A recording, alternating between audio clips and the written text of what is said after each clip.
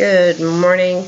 Um, this is the second part of week seven, interpersonal violence. This section is specifically on uh, rape and sexual assault. We're going to talk about definitions, recent trends, uh, historical changes in laws,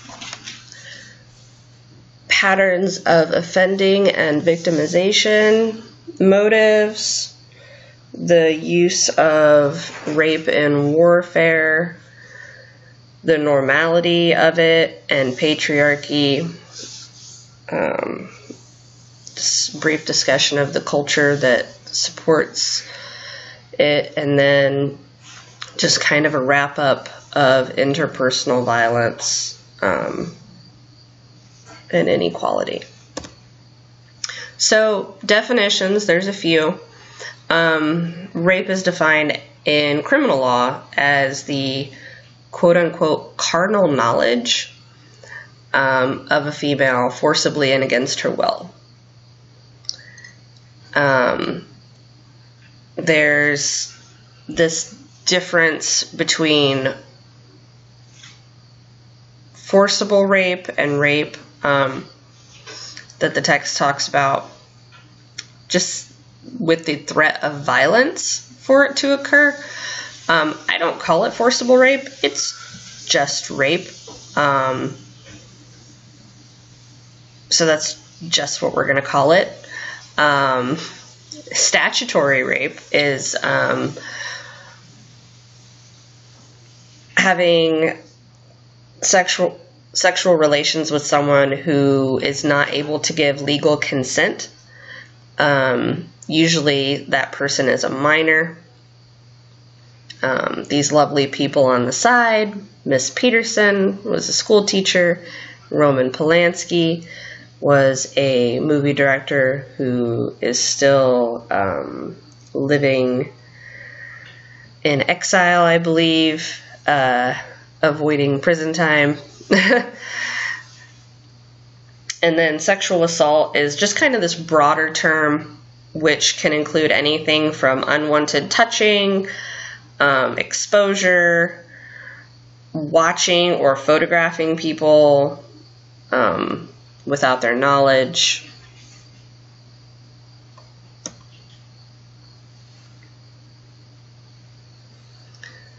Uh, recent trends, um, like murder, um, the rates for rape are down and have been since the early 90s.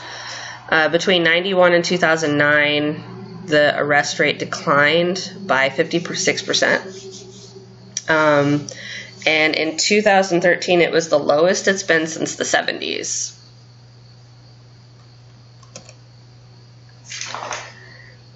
As far as historical changes in the laws, um, they definitely reflect changes in power differences between men and women. From the old Jewish, uh, Old Testament Jewish codes to medieval Europe, uh, rape was treated as a property offense because women were owned by their husbands. So if a woman was assaulted, it was a crime against her husband's property um, most legal traditions exempted husbands from raping their wives. So, because of the property law, because she is owned by him, technically he can't commit a crime against her in that way because that is something that is his. Um, today's definitions um, are contentious uh, for a number of reasons there are issues with the nature of penetration, whether or not it has to be a penis, or whether or not it could be a foreign object, or fingers, or anything else, um, the amount of force that's required, um, whether or not the person is resisting enough, and then the same issues with marriage are still present, unfortunately. Um, so popular definitions tend to lag behind legal definitions. Um, this is that gender stratification in action.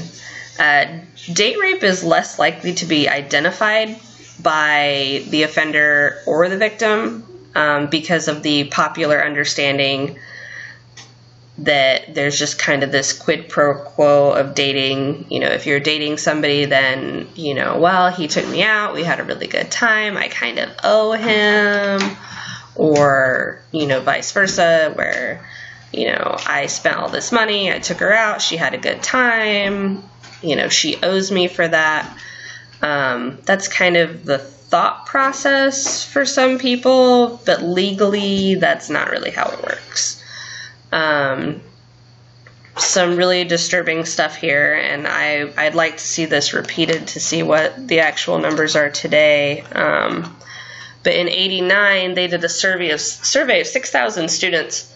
Um, these are college kids, and um, th- across 32 different colleges, so this is a pretty big span, and found that nearly 90% of guys um, who admitted that they had in fact used force to obtain sex were very adamant that they were definitely not committing rape. So even though by definition they said, well, yeah, I was, you know, it's that dirty word that they don't want to, you know, be known as a rapist, um, when in fact they are. Um, only 20%, 27% of the women who experience um, whose experience met the definition of rape, rape actually considered themselves to be rape victims. So this is that um, the either not seeing it for what it was or not wanting to believe it or blaming themselves for something that they did to make it happen. Um, that's where that comes in.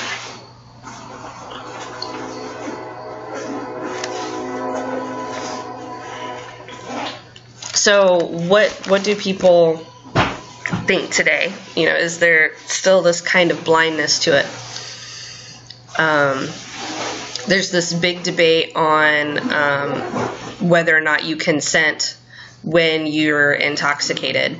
Um, you know, whether or not it's just drunk sex or whether it's date rape and a study of sexual victimization of college women showed that 9 out of 10 victims knew the person that victimized them. And they estimated that in the course of a college career, which is about five years, the percentage of completed or attempted rape among women in college and universities is still as high as 25%. So that's one in four um, college age women are the most likely um, group to be victimized.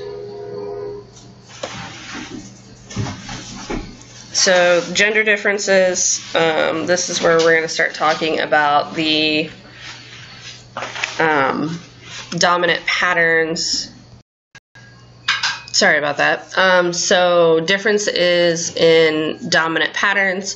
Um, in regards to gender, rape is clearly an act whereby men victimize women in an act of violence. Um, not to say that men can't be raped, but in general, as a rule, it is almost always female victims, male perpetrators. Um, 98% of guys or people arrested are male. Um, when women are charged, it's generally statutory, and again, that's the underage. Um, there was recently um, a thing in the news where one of the women involved in the Me Too movement was um, there was some light shed that she had indeed had sex with a 17 year old co star um, in California. The problem with that is in California, the age of consent is 18, so she had committed statutory rape and she had in fact paid him off to um, not discuss it. But that right there, that's kind of the idea. Um, in the male prison setting, where rape is completely an issue of power and control, um, that's unquestionable. Um, rape is a very important mechanism in establishing and maintaining the hierarchy among inmates within prison. Um, and that is transferred into society as well. That's a rape is a power move. It is a exercise in control and power um, more than anything sexual. An estimated 60,000 state and federal prisoners were assaulted during one year in 2007. Um, there's also reports of abuse by staff, which are way more common than reports of abuse by other inmates. So, um, again, this is that power struggle where you have someone in a position of power, which are the staff, who are assaulting people who are um, you know, quote unquote, lower than them on the totem, um, which are the prisoners. Um, juveniles, illegal immigrants, um, men that are more slightly built, um, and those who are sexually inexperienced um, were the most likely to be raped in prison. And then the idea of you know, quote unquote, hooking up for protection um, among male inmates is common also.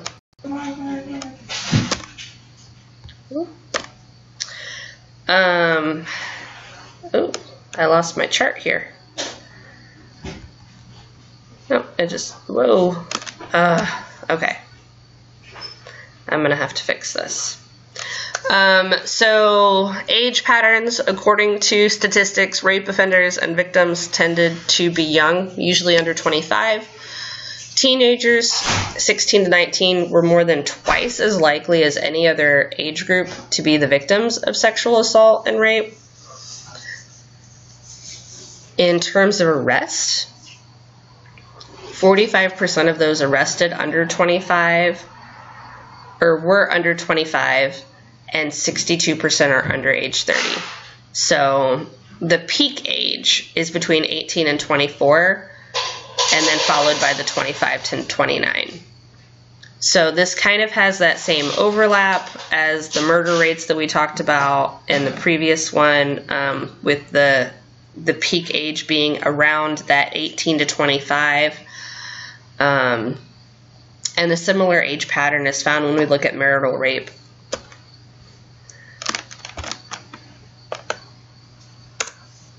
I don't think this is going to let me.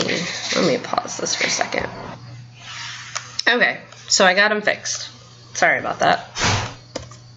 So, in regards to ethnicity, um, again, African Americans are overrepresented overrepresented in arrest statistics. In 2008, almost 32% of those arrested were black, which is three times their representation in the population. And then 63% were white or non Caucasian or non Hispanic, Caucasian, however the census thing fills it out. Um, during the past 10 years, there's been a significant decline in rape and sexual assault for the black, black population. Um, like homicide, this is a intra-racial act where you know white on white, black on black, etc.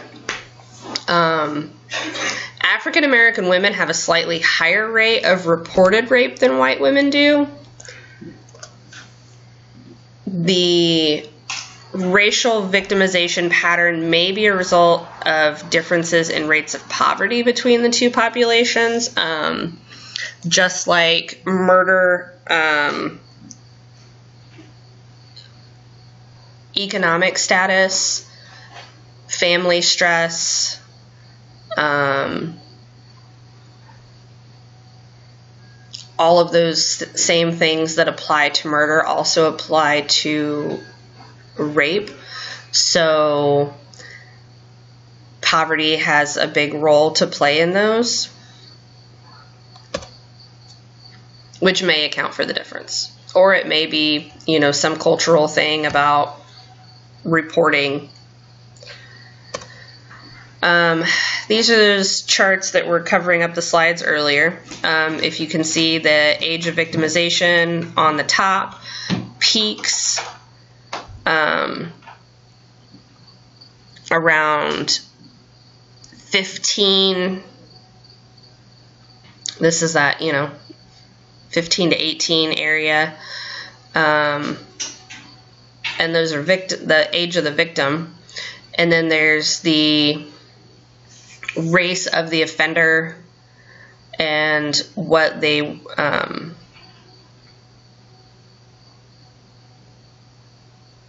sorry the acts of violence um, you know you don't really need the robbery but um, the rape slash sexual assault um, you can see that it's higher uh, special case for Native Americans. Um, Amnesty International, um, this may be higher at this point, but had said before that one third of Native American women will be raped in their lifetime. Um, and if you look at the statistics for all other women, it's between one in four and one in five. So they have a significantly higher rate um, with the Bureau of Justice um, looking at trends, Native Americans experience a victimization rate that was two and a half times greater than for whites and blacks. And this is a different pattern than what we're seeing in the general population, where we had just talked about how it's generally white on white or black on black. In the case of Native Americans, it's generally whites committing rape against a Native American woman. And that's 80% of the time. And again, if we look at the dominant patterns here of how poverty feeds into this and hierarchies and stuff like that. This is a ethnic minority, which means the rates of victimization are higher. They're Native Americans, which means that overall they experience higher rates of poverty and um, unemployment, extremely low socioeconomic status.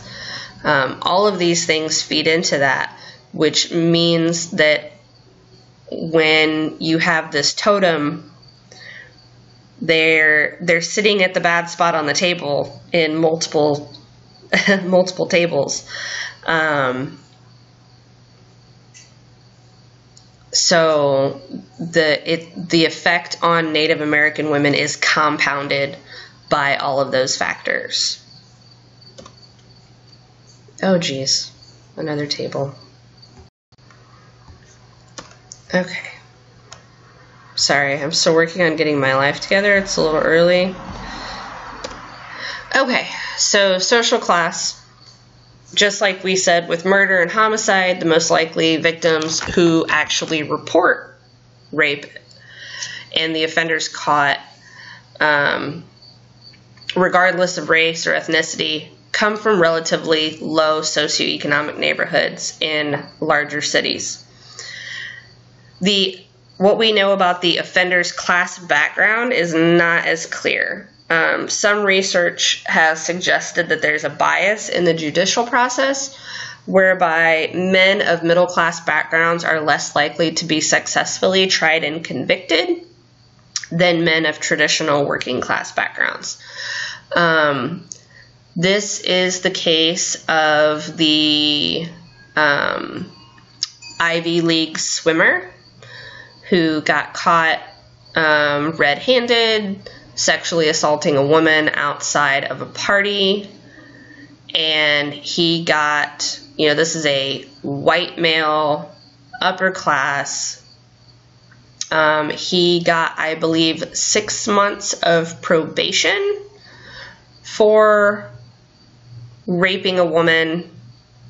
Um, there was no gray area. He was literally caught by two other gentlemen.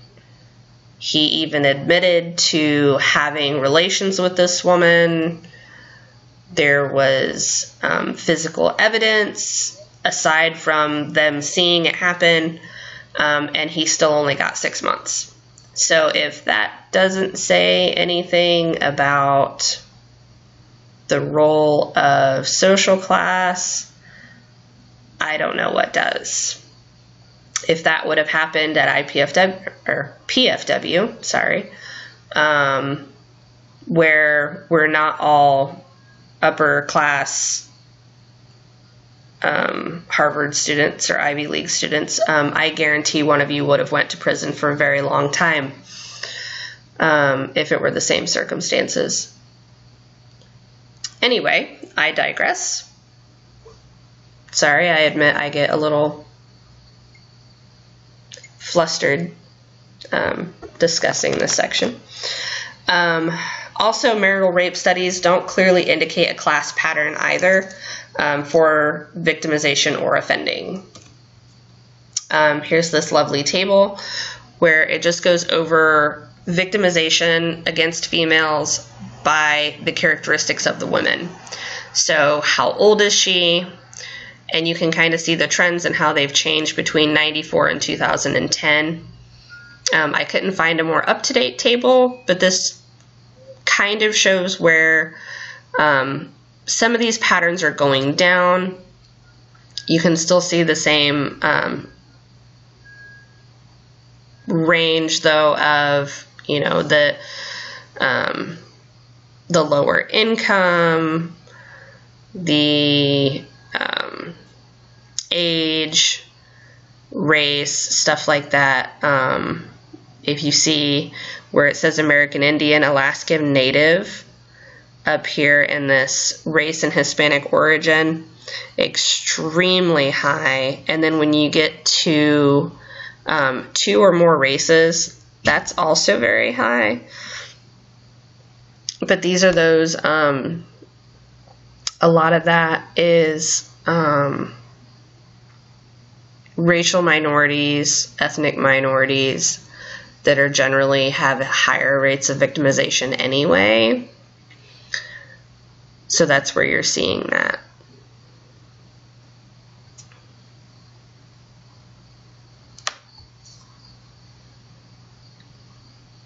And then if you look down at location, um, urban and rural are relatively high. And I would argue that that's because both of those tend to have lower um, socioeconomic status. Um, victim and offender relationships. Um, this is extremely important. Most victimization studies have shown that the majority of rapes are among persons who are at least they were or are romantically involved.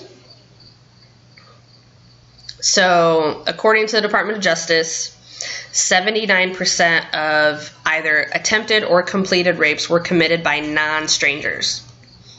So, despite what the um, people on TV or movies or news conferences would like to tell you, you are extremely, extremely unlikely to get sexually assaulted walking down the street unless it's by somebody that knows you and happens to see you out walking. um, it's not a stranger hiding in the bushes. It is more than likely that guy that you know from school or that coworker or that guy that you know from Starbucks that sees an opportunity um, and decides to act on it. Um, reporting bias also has the potential to exaggerate the incidence of stranger um, rape because if it's someone you don't know, you're more than likely going to view it as a crime and run to the police. If it's somebody you know, you're more likely, or the victim is more likely to say, okay, what did I do to cause this? Oh, or they make excuses for the person. You know, he was drunk, he didn't know what he was doing. Um, maybe I led him on. Um, he's not usually like this if I go and report this, what is this going to do? How are people going to view me? Um, what if nobody believes me? The incidence of marital rape is along the same line. It's extremely underestimated um, because of the same things we just talked about, as well as the reluctance to promote enforcement. There's no um, campaigns out there saying, hey, ladies, if your husband is sexually assaulting you and raping you, you need to call the police. Um, there's the reluctance to report on the part of the victim. You know, if if I call the police, what's going to happen? What's that going to do to my marriage? Is anybody going to believe me? Um, stuff like that. And then there's also the reluctance by the police and the district attorneys to enforce the laws regarding marital rape. Um, unfortunately, it's not just, you know, yes, we're married, but this is what happened. They're like, well, you know, you're married, and are you sure? And there's a lot of questioning and a lot of victim blaming. Um, there's a lot of reasons why victims don't report this kind of stuff. And in the instances of marital rape, there's not really a lot that anyone's doing to try to change because the police aren't going after it. They're not encouraging people to step forward. And when they do, they're not doing much to stop it from happening again. So that's unfortunate. Um, motives. So, are the motives a result of these people being psychotic or having some sort of psychological um, issue? Um, they talk about a few different types of rape um, power, anger, sadistic. Um, Generally speaking, less than 5% of men were considered psychotic when they raped someone. Um, yes, there are different underlying things. You know, there's the power, which is an assertion of control and domination, um, anger, um, when they're angry, frustrated at the person um, the sadistic, where you're just um, a need to inflict suffering. Um, I would say a lot of these are um, more like serial rapists, um, where you have like the strong pathology, um, serial murderers that also commit rape with their victims. that's where a lot of that stuff comes in. Um,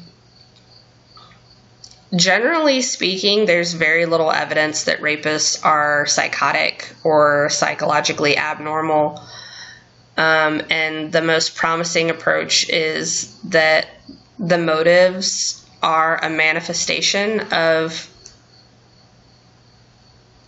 gender relations. Um, we have set up this patriarchal system, and rape is a manifestation of that um, need for um, males to dominate. There are links between the structural and cultural factors with you know situations um, as is the case with violence in general this is just another form of it. And to say well that's different this is obviously sexual you know saying that rape is obviously sexual is like saying that you know beating someone is the physical act of punching. Um, that's not what it is. So even though this is the manifestation of what it you know and how what it looks like when it comes out um, that doesn't change the fact of what it is. I hope that makes sense. Um, revenge and punishment motive. Um, in a lot of cases the rape victim was a substitute um, for the actual person that they are wanting revenge on. Um, sexual access, um, men who feel that they're entitled um, because sex has either been withheld for them or rape is the only means of getting sex from a particular person. Um, here recently, um, there has been a lot of um, news and exposure to the incel movement. These are the um, gentlemen online who um,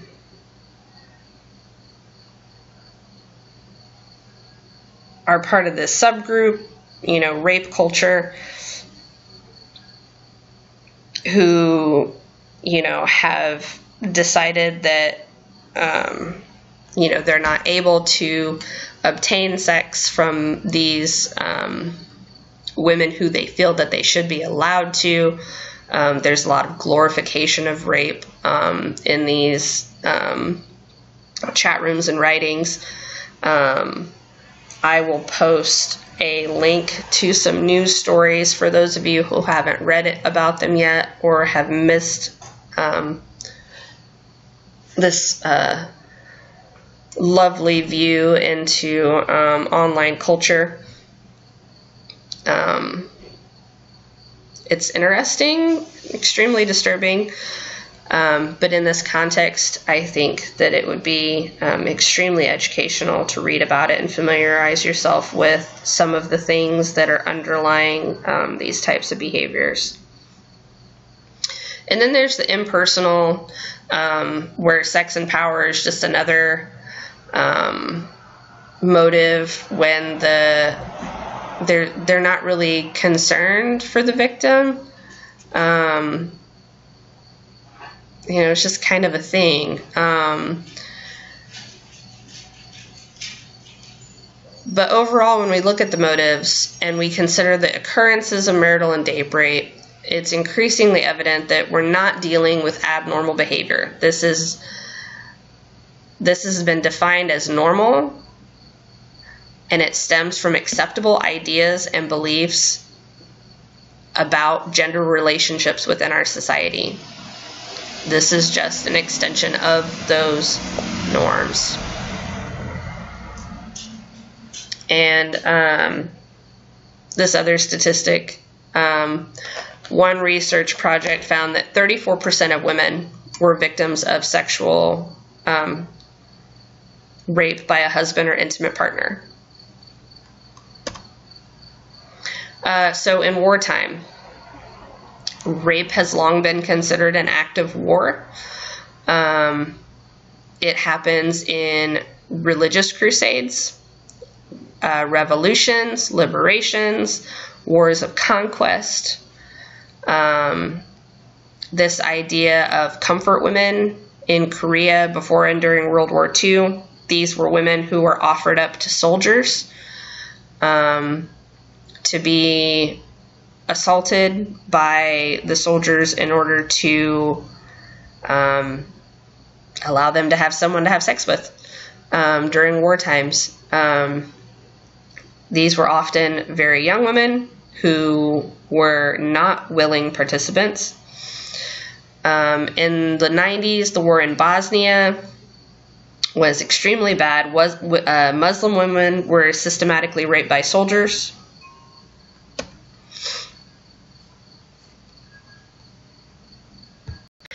So, rape and the patriarch. Um, patriarchs see themselves as superior to their wives simply because they're men.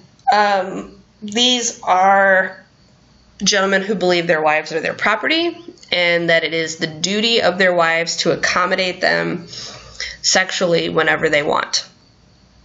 Um, they believe they should be the boss of their marriage and that their wives should behave in a um, subordinate fashion, and that if they don't, then they should be punished.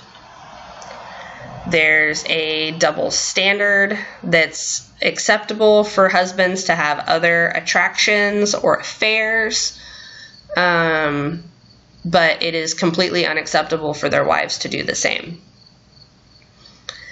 And gentlemen, before you get up in arms and say, guys don't really feel this way, this is 2018, this is ridiculous, this is an old world way of thinking, totally not true.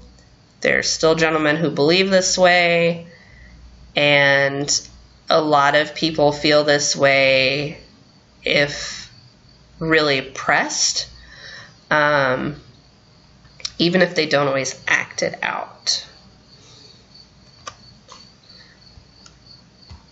So there is an underlying cultural thing. Uh, so the normalcy of it.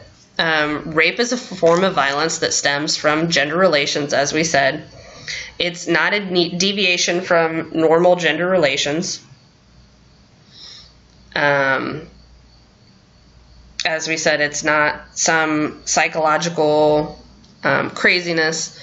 Um, women in the context of patriarchy are defined as commodities to be acquired and owned in the context of marriage.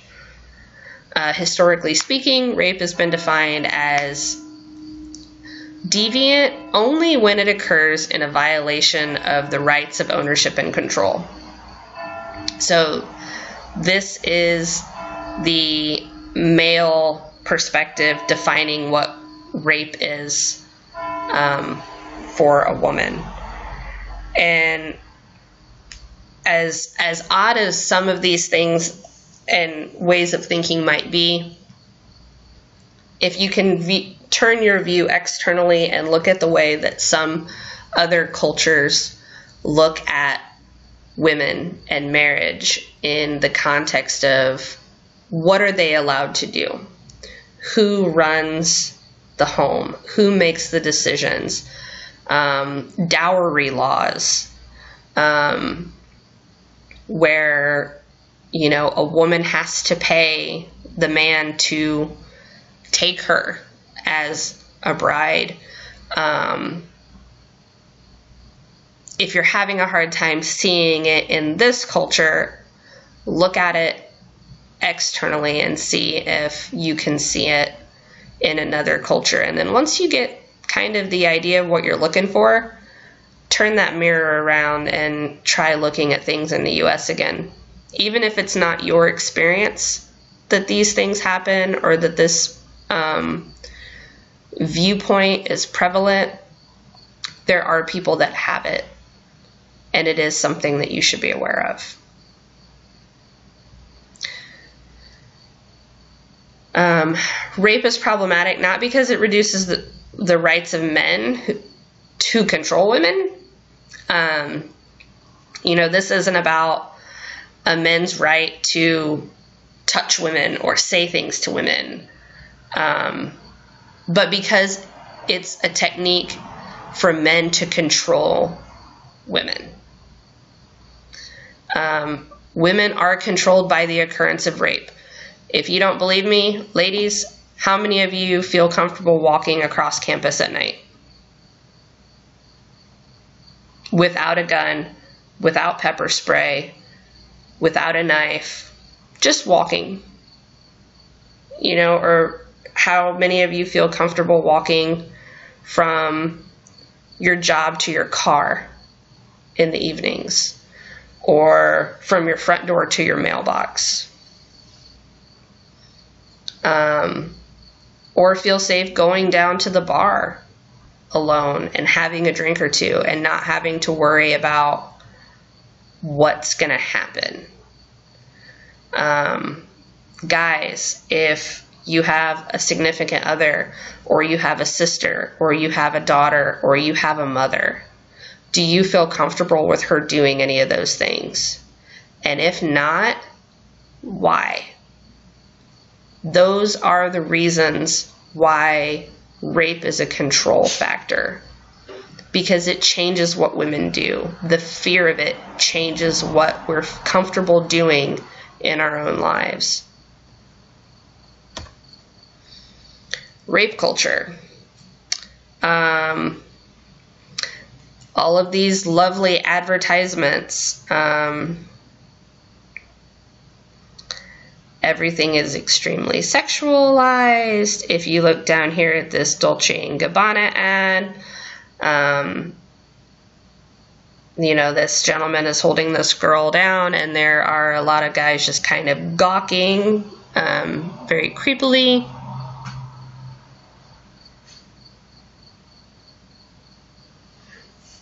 You know, Cosmo always has a how to please your man ad. Um, there's a video on here, uh, Killing Us Softly 3 there's a link to it in the videos. Um, I suggest watching that.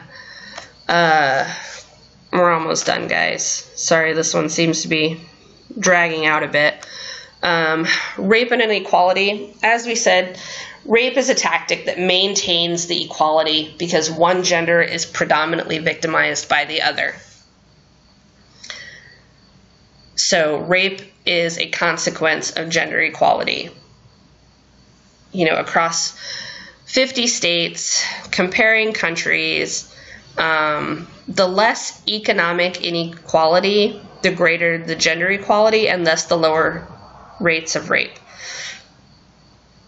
So,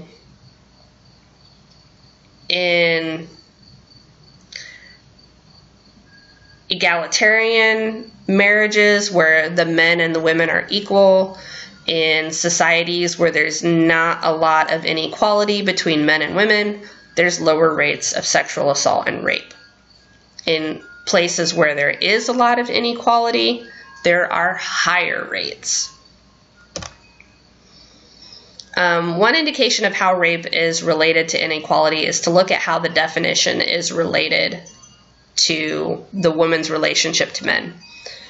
Um, situations where women are in a relationship with men, either in a marriage or dating, the definition of rape changes. When there's no clear relationship, then rape is rape. If it's a stranger, oh, well, it's obviously rape. But like we said earlier, if it's your husband, if it's your boyfriend, it's a guy that you kind of dated at one point, or um, maybe you're really good friends with, and the, you know the guy's in the friend zone, and maybe he doesn't like it. Um, that's where the definitions legally um, get a little blurry um, because there's less enforcement and there's less there's um, what's a nice way of saying this the closer the relationship between the man and the woman, the less likely everyone involved is to believe that it's rape, even if legally, by definition, it is. So, how do gender laws and enforcement enforcement change as a result of women's empowerment? Um, as we touched on earlier, class and racial inequality. um, men in class and ethnically dominated positions can still dominate women. And this may be important as they experience class and racial oppression as a ways to assert power and control.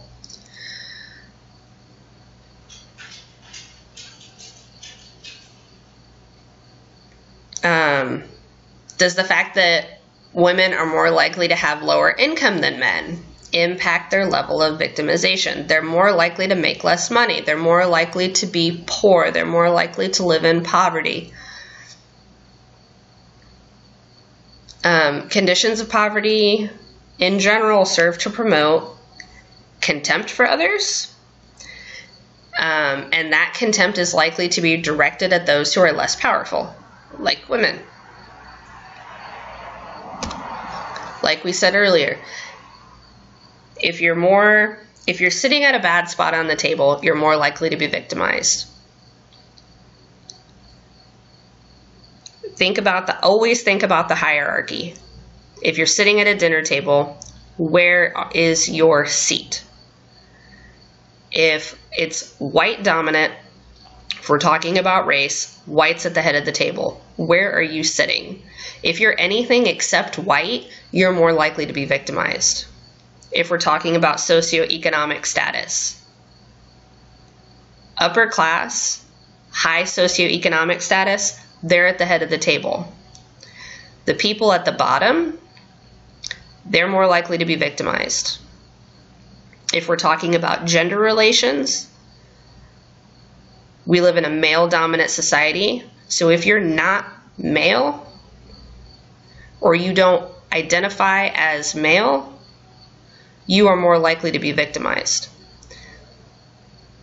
So when we think of who has the highest rates of rape victimization, it is poor black women. And that makes complete sense when we look at the hierarchy for everything.